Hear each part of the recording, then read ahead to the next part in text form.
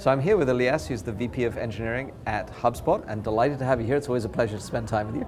So we're going to talk a little bit tonight about the Future of Open Source survey, but I want to just back up for a second and understand a little bit about how HubSpot thinks about open source. Obviously, you have a tremendous community of users, but what about open source? How do you think about your open source usage and, and your community in open source?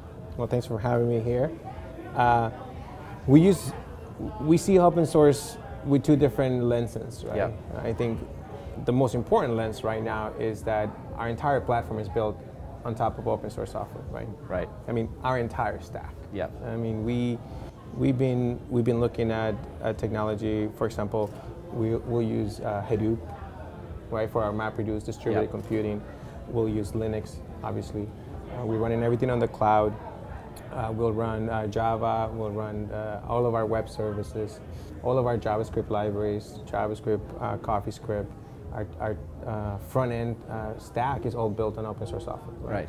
Talking about Grunt, uh, Backbone.js, Yep. uh, CoffeeScript, Haml, Yep. Handlebar. So, uh, Do you use open source testing tools as well? open, you know, we you know we run everything on Jenkins. You Yep. know, it's Selenium, Yep. Jasmine. It's like everything that we have. Is our mentality is basically, you know, we always go to open source Yep. for our first solution. Yeah. Very rarely we have to we have needed to build something else, right? Uh, to buy something else. So you're highlighting one of the most important findings of the survey this year, which is that basically we're now seeing a really strong grassroots adoption, and it's the first thing people turn to. So it's open source first, Yeah. and then you know build from there. But obviously, I always think about this. that's, in- that's one lens. yeah, yeah. the so second about the second. Is, is that we we want to give back to the community, right? Yeah. So we've been focusing uh, some of our energy as well in open sourcing the work that we have done internally, wherever open source wasn't, you know, meeting, you know, the bar, and we open source our projects to make sure we give back to the community and we get to know other developers for our future growth of our team, right? Right. So we use it as uh, we, I call it inbound recruiting, right? Yeah. Where we want everyone to know uh, what kind of technology we're building at HubSpot. So it's it's two things, right? We consumer, Yep. and we want to be producers as well. Yeah. So you're highlighting a couple of key things that come out in the survey, and it'll be interesting to see what you think of it as we announce it tonight. Um, so first of all, one is that obviously there's more and more grassroots support for projects that are not only being consumed but now organized by vendors and also enterprises too. Right. And those enterprises are seeing the benefits, as you suggest, of actually being part of the community because it helps them recruit. Yeah. And it's a virtuous cycle because guess what? Developers want to work on innovative things. Absolutely. And they want to contribute and give Yeah. back. So is it helping you recruit? Oh, absolutely. I mean, it when we have. It's really hard for me to, to recruit an engineer if I'm telling them that we have we use this proprietary stack that Yeah, we buy from right. this huge vendor that Yeah. no one else knows about or uses, right? Yeah. Uh, we the fact that we can stay with things that are relevant, that they're learning at school, that they're learning open source. I mean, GitHub is so you know fundamental nowadays on, on everyone finding new software, and new projects. That you gotta have you gotta have the ability to attract a new candidate, right? Yeah. And we speak their language. We use the same software. We use the same project. So it's much much easier for them to say, "I want to work in this company." Right. Both for us consuming all open source and producing it, right? So Yeah. it's, it's a it's a no-brainer for us. That's great. Yeah. Well, let's talk about the first lens, you're consuming open source. How much do you estimate it's accelerated your ability to get products to market? I mean, probably a hard thing to imagine doing it without open source, but give us a sense of how much it might have helped. Well, part of that is is built upon our experience of, of, of open source. I've been using open source software for, you know, let's say close to 10 years, right? Right, right. And so it's like uh, we we become very familiar. I mean, they're not these are not necessarily projects that just started, you know, last year. Right, exactly. And so it's uh, products that uh, projects that have a, have gone through a lot of development and iterations, right? And to be stable enough for us to use. Yep. Uh, so that's one part of it. But the other, I felt that I feel that we, we have created um, an internal culture, right, of empowering the developers, increasing developer productivity, and our job has been to fill in the gaps. Right. Right. That certain companies sometimes don't have the ability, the technical skills, or the resources to to fill those gaps. Yep. Uh, so it's been fantastic for us because I think together doing those two things, just grabbing open source by itself, Yeah, wouldn't have will not give us the, the Yeah. speed that we have today Yeah.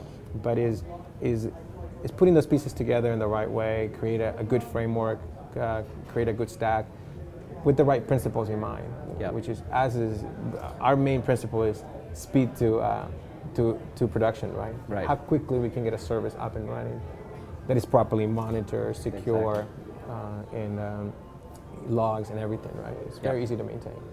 So let's talk a little bit about that. So one of the things obviously you're getting is agility there, you know, Mm-hmm. time to market, you're getting greater security, more eyes on the code. What are some of the benefits though for you that you say I couldn't live without, you know? that I couldn't live without from open source. I mean, Yeah. the first one is that uh, there's a lot more talent, right, that is, is willing to help us, right? Uh, Yeah. I mean, the, the support that we get from some of the communities, right, HBase, for example, right? Yeah. People are, are really quick to answer questions that we might have. Right. Uh, we can we can tap different individuals in our network that know the code base. Right. We can look at the code base and we can get familiarized enough to make sure that we can fix our own problems as well. Yep. So you have to invest in, in, in many different areas, but uh, sometimes is it's better than some of the uh, larger vendors, right? Uh, it's a much more complicated support process. Right. I mean, we, we have developed enough experience with our projects that most of the time we can resolve it ourselves. I mean, Right. having the source is a huge plus. Oh, it's huge. It's absolutely enormous. In fact, it's funny, in the survey that rocketed it from about number eight to number four in terms of priorities this year. Yeah. People are really paying much more attention to it. Yeah. Now let's talk about that as well. Obviously, one of the things that you've decided to do is contribute back, but you have to be organized to do that. Can you talk a little bit about how you've organized your teams to contribute back to the projects and how you monitor that?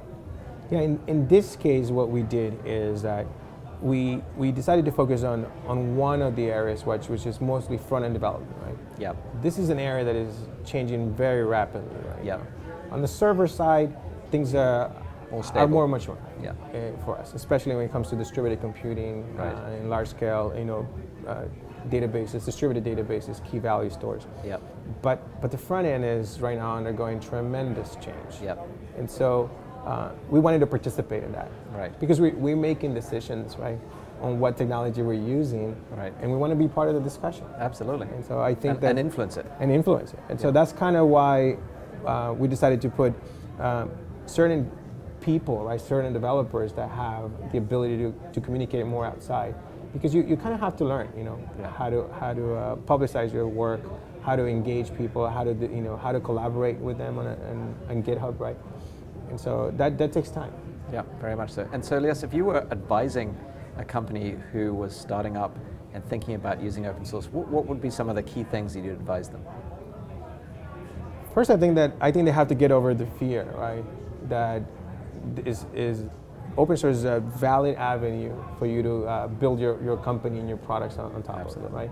I mean, I think it's safe. Uh, many people are concerned about the legal ramifications and things like that, but I think we're way past that, right? Yeah. Uh, Yeah. And so uh, that, that's my first my first thing. They just they just have to go and do it. Yep. Uh, second, they cannot expect to uh, to find a solution that's already wrapped up in a box. Here's your gift. Here, here's Yep. here's this software that's going to solve all your problems. Right. Whether you buy software or whether you use open source, you're going to have to invest a little uh, or, or a lot, depending on how much you want out of that Right. investment, uh, to bring everything together. Yeah. There, there is just no, there's not one answer anywhere. There's no silver Yep. bullet, Yeah. uh, both proprietary and open source software.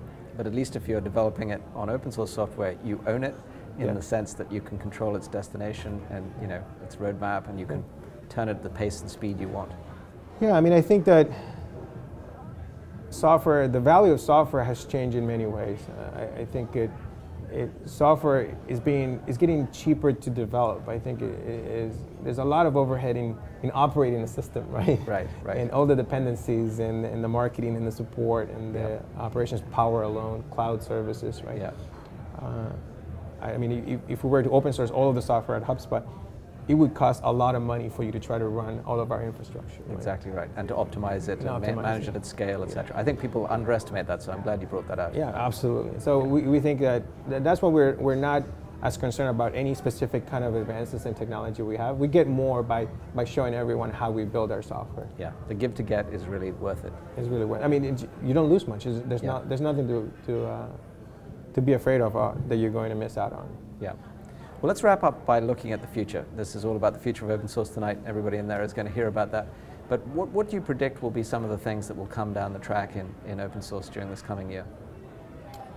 So one of the things that I'm looking closely at is uh, platform as a service, right? It's Right. infrastructure. I think that uh, we're still in the early stages on how we manage our services Yep. in, in companies, and we, we have things like Amazon. There's different there's different layers Yeah. right, on, on, on this on, on building platforms. Yep. You have Amazon. You have something like Google App Engine. Yep. Uh, they're more prescribed. You have something like Heroku, Yep.